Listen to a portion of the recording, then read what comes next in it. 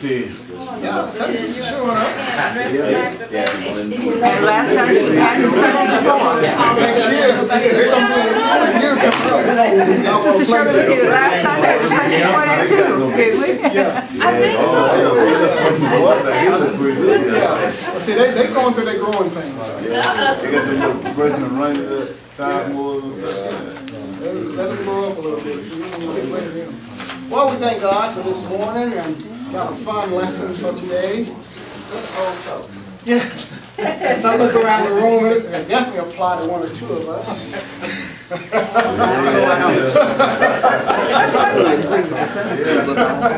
gotta say who? Yeah, one or two of us. That's all right. One or two of us. The lesson will point you out, so you you gotta. Y'all can get on if you want to, I'm not having no part of Back that. in the room. Snack shed for the I tell you, like I told my kids, Right. I And we're no. going to find out that we're, we're gonna come to the conclusion of the whole, the whole observation, uh, by the end of the lesson. The beginning of the observation, we're in Ecclesiastes eleven, chapter verse nine, a couple of verses, nine and ten. Then we'll jump to Ecclesiastes twelfth chapter, verse one.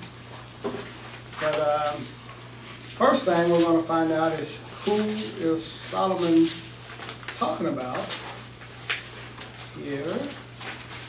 And uh, his advice, what he has to uh, encourage us to do, remembering from the proper perspective that Solomon is giving this advice, he's, much limited in his wisdom than what we are today. We are, oh,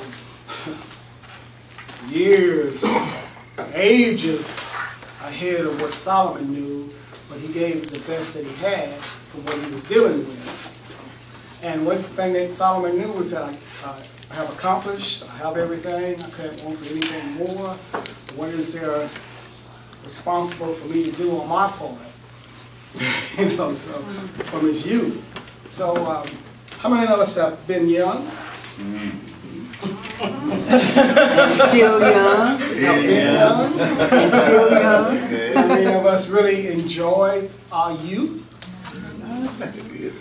You know, I mean, let nothing get by me that I, got by because I didn't know about it.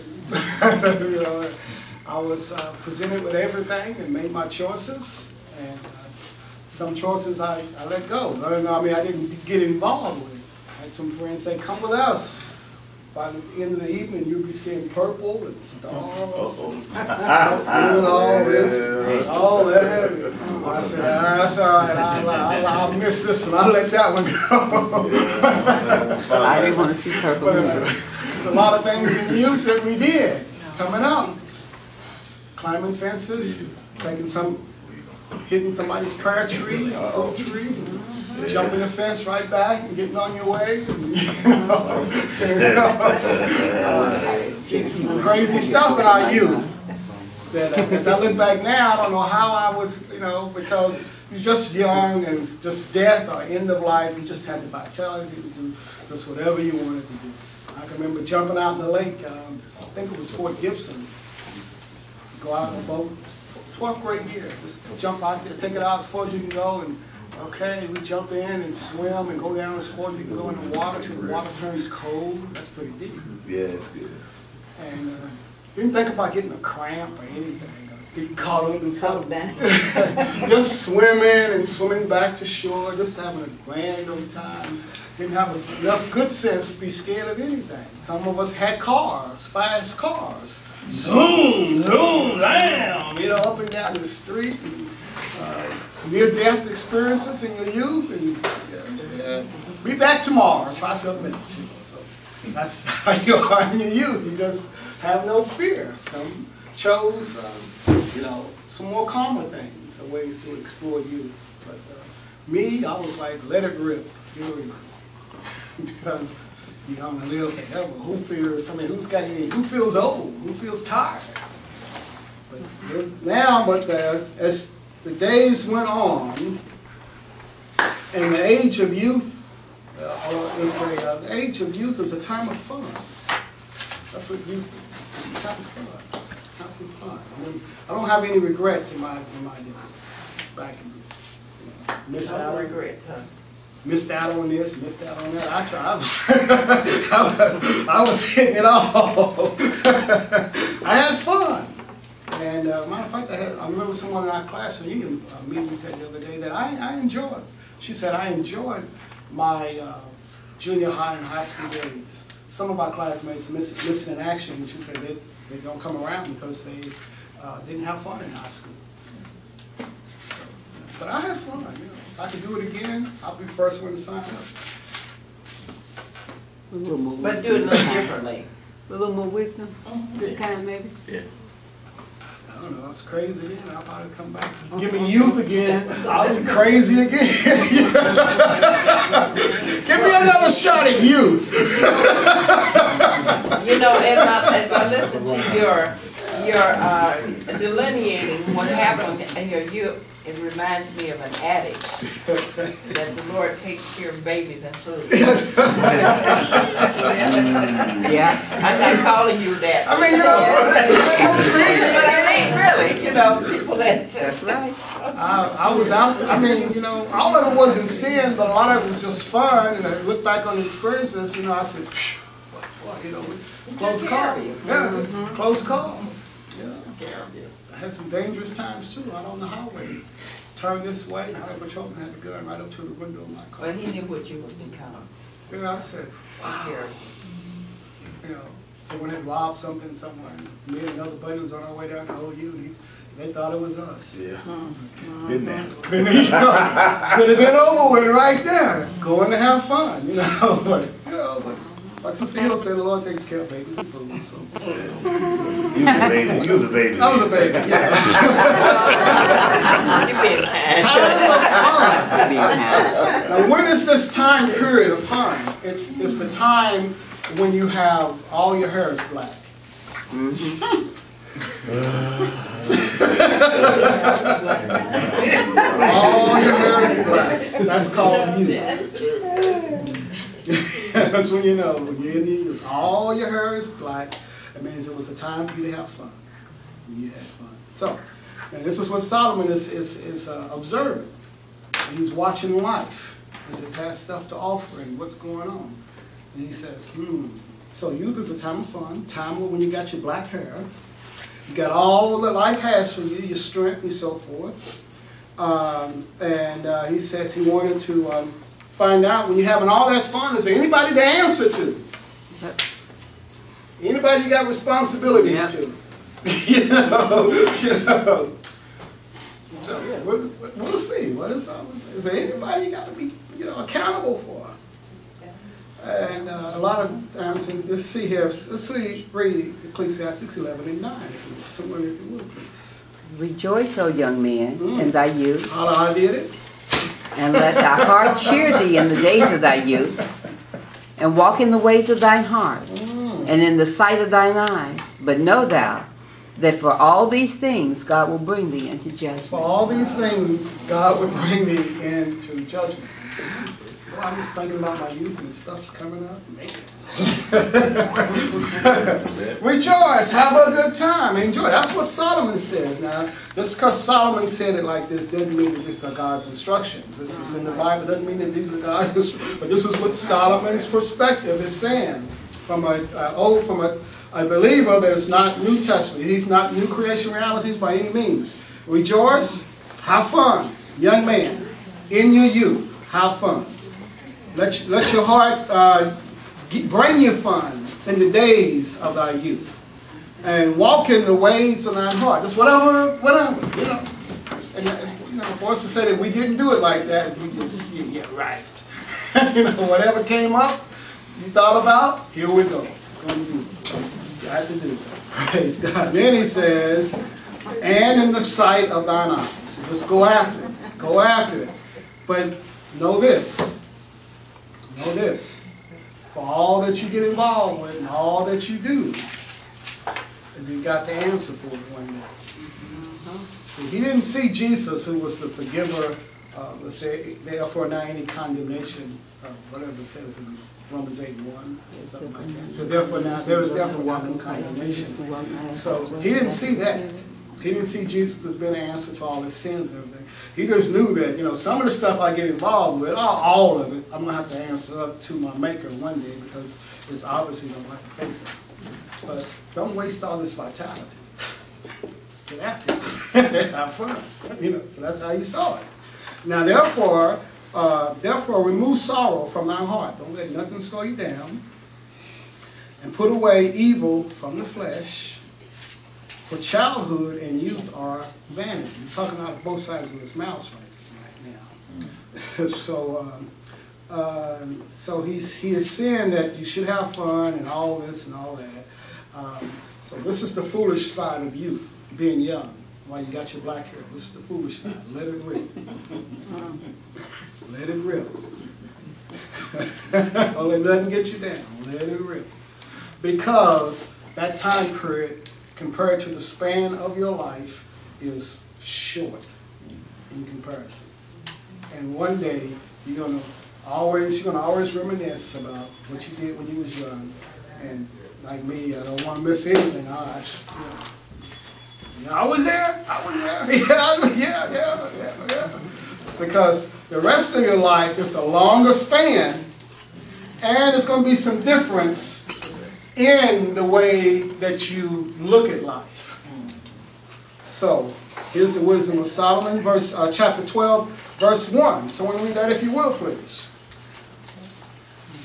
Remember, Uh-huh, 12 and 1. remember now thy Creator in the days of thy youth, while the evil days come not, nor the years draw nigh, when thou shalt say, I have no pleasure in them. Right. Well, we was having all that fun up there in the 11th chapter. Let's look at some of the, because he says you're going to have to face some judgment. Judgment's going to come. You got to answer up. And uh, look at uh, John 5:22. And John, we're going to the book of Acts. But you're going to have to answer up. I kind of skipped ahead real fast there. Let's 5:22. Yeah, it says that the Father judging no man, but had committed all judgment unto who? The Son. And Quickly go into Acts two and forty-two.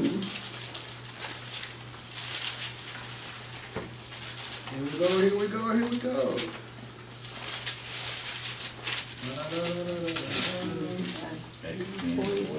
And what does it say there? Acts ten forty-two? And he commanded us to preach unto the people and to testify that it is he which was ordained of God to be the judge of quick and dead. So we don't have to, and then let's go to Hebrews nine twenty-seven. It's gonna have to be some answering up.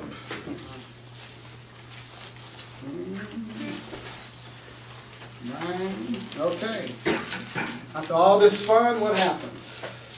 And as it is appointed unto men once to die, but after this, the judgment. Of the man wants to die after this, the judgment. So I have this short time span of black hair, her rip. The rest of this, this span. And then at the end of that span, judgment. Whoa. Okay, so, all right, all right, all right. And let's check out Romans fourteen and ten while we're over here in the New Testament.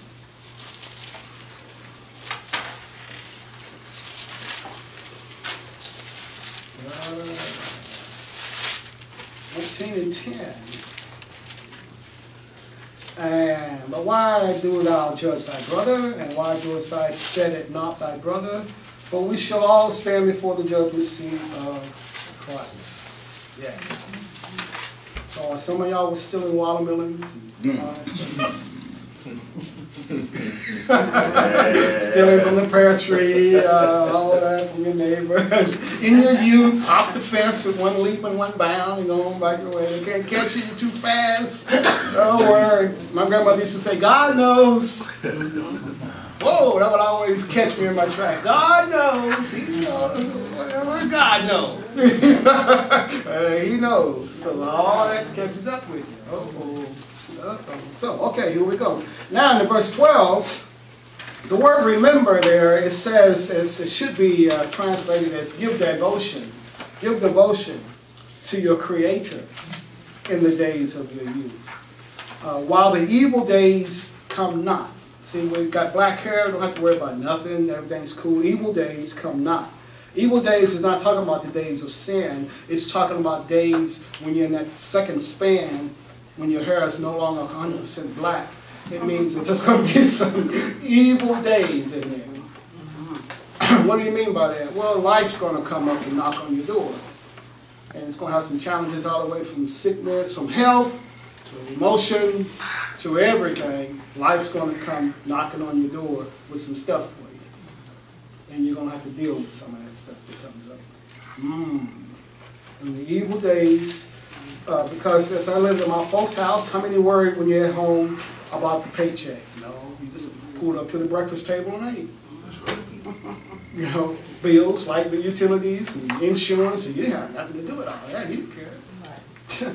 But the evil day is gonna like show up pretty soon, and you got to deal with all that stuff. Oh man. All right. So those are while the evil days come not. Those are the days that you got to deal with life, with stuff. And are the years do what? Draw nigh. That means running out of time. Running out of time. Hmm. When thou shalt say, I have no pleasure in them. And there is going to be some days on the earth when you say, "Mm, I don't, you know, they can't kicking for me like it did back in the day. If you live long enough. You ain't, you ain't gonna kick it like you did back in your youth, or when you, when you had a mixture of, what do you call it, salt and pepper. Still kick a little bit then. Pretty soon the day you come when you can't even kick at all. I have no pleasure in this, you know, because that's ain't the way that I want it to be.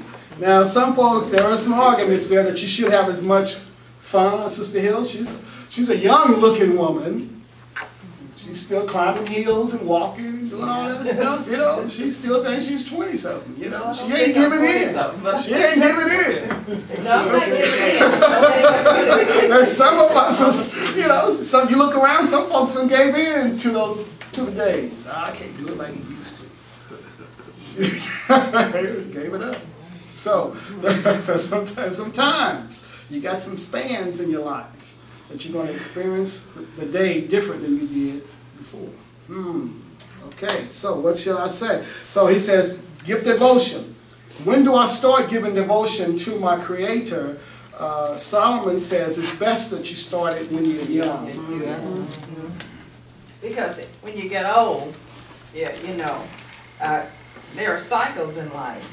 They say every seven years some change and all. And then when you get real, real old, the things that you were mentioning earlier, people saying, oh, well, I don't want to do that. Yeah, You know, I don't ever. Let's go on, va- let's go on vacation. Right, right, no, no. Let's, let's get in the car and drive to But California. Remember, he was here active and alive and yes, Yeah. right. I was twenty something. How old were we, Candy, when we drove from here to Louisiana, Louisiana to Texas, and out to California? One vacation trip. Jessica was two. Two or three years old. So I could It'll stay a little along. challenge now. Yo, shit, you can't drive to here to Broken Arrow. And we did it in four days. You know, Four. hey, you know, who's sleepy? Ain't nobody sleepy. We just getting it. Yeah. you know, we're just going after it. Now it's a little different story, you know. So, well, when do I, when do I start uh, thinking about my Creator? Do it in the days of your youth. And I tell you, we'll see the advantages of that as we go on through, through the lesson. Some folks wait until they get old to start giving God devotion, but there's an advantage if you do it while you're young. Uh, now, verse 2 says, uh, uh, everything that's mentioned in verse 2, except for the clouds return after the rain, uh, the clouds return after the rain is a negative. Everything else in that verse 2, someone read it, is a, is a, is a fun time. While the sun, or the light, or the moon, or the stars be not darkened, Oh, nor the clouds return after the rain. clouds return after the rain. In other words, after every season, every, uh, every something that is going to, it gets cloudy again. Okay, it's, it rains, it clears up, it gets cloudy again. After a little while, it gets cloudy again. Now, as you get into your older age, the clouds come back a whole lot sooner. Mm-hmm. I mean, you felt a little pain over there, over there, and when you was twenty, and you shook it off, and give me a couple of hours, throw me in the hot tub, I'm good to go, play the next game. Now, if the brother went out there and twisted his ankle, it's like, oh, it's a six-month process for this brother. to be back At out. least. He done got old, you know. Young guy, break a collarbone, separate shoulder, pop it back in, the ankle, put something on it, put some dirt on it, here you go. back out there. You know, but now it's gonna be a while for the brother to get back up and get out on the field. So that's, that means that those, the, the cloudy days come back a lot quicker. But, be, but before, he says here, the, the sun, how many had fun under the sun? Come on now. Uh, the beach, the lake, what else? The parks. Oh, oh, y'all, y'all, I gotta find me a church that ain't gonna say it. The parks. Uh, uh, the beach, the lakes, where else under the sun? You name it. Had fun under the sun. The light, daytime or nighttime, make some light. We still partying. The moon. We got a full moon this week, man. Back in the day, I was 17, 18 years old. We had a full moon. Oh, boy. Don't tell them when we get back home. I got a family at church. All the stars. Just having a ball. And this is all positive. This is all good. Here we go. It's own. Brother William, Yes, what did you not do?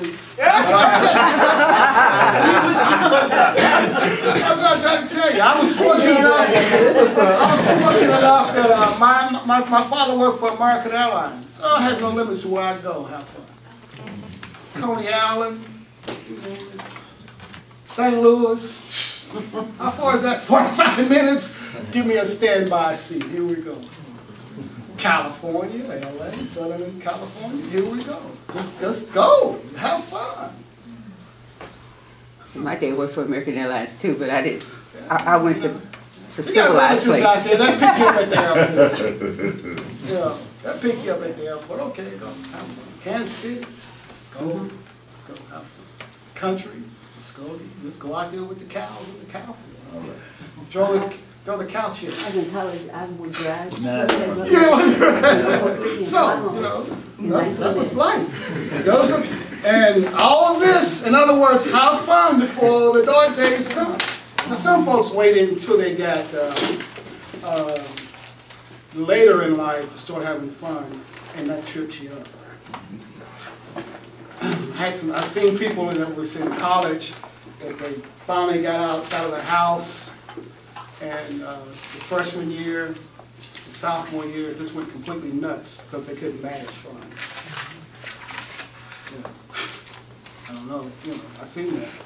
Yeah. They go completely nuts when they get away from it because they don't, they don't, they don't know fun. And some people, fun is suppressed while they're in youth because of religious tradition and so forth, and all this and all that. And then when they finally get free, they go crazy. So, yeah, you gotta know how to manage fun. This is what he's saying. Have your fun. Have it. While the lights up, sun's out, the moon comes out, the stars. But remember, it's gonna start raining pretty soon. And the cloud's gonna come over your life. Gonna- the cloudy day is gonna come more frequently. Can't have fun now. Silly for me to go to the disco. 50, 59 years old, just run up in the disco. What? There's no more disco. Oh, I'm. I'm, I'm gonna be a rapper. That's what's happening now, you know, everybody's rapping. Nah, I can't, I can't do that, you know, that day's over for you. So, so you can't do that anymore. So now my days is, uh, with the grandkids, that's my fun. You Can't do it like you used to, you gotta do this and do that. Different spans of your life gonna dictate to you where your fun is gonna be. It's a hard lesson. So the clouds return sooner, as, more often as you get older. All right, verse three of uh, chapter twelve, someone help us out there. Uh-oh. In the day when the keepers of the house shall tremble, And the strong men shall bow themselves, Ooh. and the grinders cease because they are few. And those that look out of the windows be darkened. All right, it's easy to see. Look out of the windows, be darkened. That's who? Your eyes. See, about two or three of us in here got some assistants on us. He's trying to look like we're 20, you know. You, you can't see nothing, you better put something on. That's just life, ain't, you know, ain't life gonna call it like it is. Mm. You can't see, but get some help. so I'm looking out. I'm, you know, when I was young, I didn't need any glasses. How many needed some? Some of us did, but for the most part, man, come on. See a country mile and beyond that. Day all night, read in the dark. I Bless the disagree. days, bless Mom said, why days you, go on. you in the dark reading? Need some help. My mom would So that's that's the end of that. That look out the windows be darkened. Now at the top of that verse three, when the keepers of the house shall tremble. Guess what the keepers of the house is? Uh, your legs and your arms. We are a building, a temple. We're our house. We're our soul. We're a spirit. We're in a body called a house. And the house, the structure of it, uh, starts trembling after a while. These things, support Candy the other day, somebody else I know, a preacher's wife, just hit the ground, face first. Bam! Sister Candy. We fall down. All of a We get up. We say, We fall down and we get up. Scooted across that concrete like someone had I said, my raised up grandkids and got stuck scars on their their knees too. What's going on? Well, the, the, the keepers is not what? As quick as they what used to be. Are strong.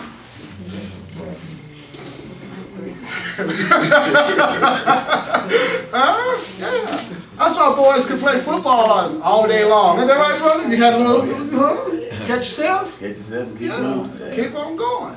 Now, keepers is not as quick or as strong. You gotta know how to fall, man. Your legs are not, they, they start, what, trembling? Yeah. And and it's evident because some start walking around with a what, cane. And the hair is what, whiter than it was years ago. So you can't fool life. You can say, you know, life says, this is where you are, and I got you. And you can't act like you're 18, 16, 17 years old, like you thought you could. You can pretend, but life knows that the keepers is not as strong as they were, because your brother can't run no 4-3 like he used to. You can dream about it. but he can't get there. That's now. Can we pause just for a moment? All right, we got to. Yeah, right.